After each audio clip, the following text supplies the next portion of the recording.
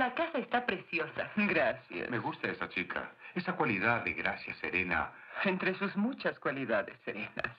¿Pasamos? Pocas cosas has hecho que me hayan alegrado tanto como que tomaras a Eva bajo tu protección. Me alegro tanto que te alegre. No puedes decir que fue tu generosidad únicamente.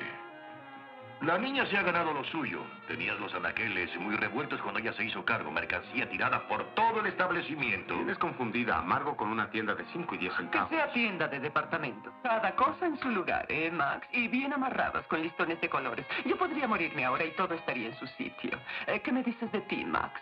¿Qué te digo de qué? Supongo que te caes muerto. ¿Cómo estaría tu mercancía? Yo no voy a caerme muerto con este calor. Esta es una conversación muy siniestra. Gracias. De nada.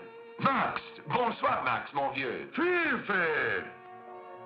La chica, es decir, la niña volverá en un minuto, a no ser que quieras llevarle una copa arriba. Puedo traerle otra. Karen, toma un martini muy seco. Gracias. La atmósfera general es un poco macbethiana. ¿Qué pasa o qué proponen que pase? Lloyd, ¿de qué estás hablando? De Macbeth. Los conocemos y los hemos visto así otras veces.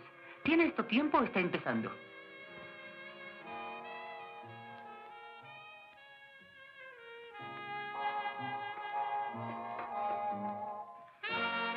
Abróchense los cinturones. Vamos a tener muy mal tiempo. Oh,